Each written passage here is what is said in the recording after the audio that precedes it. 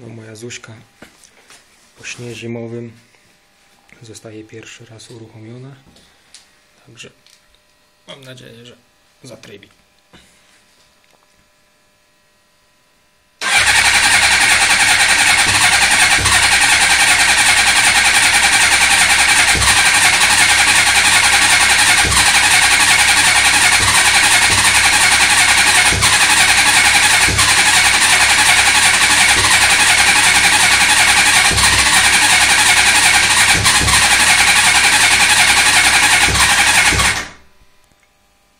Podejście numer dwa.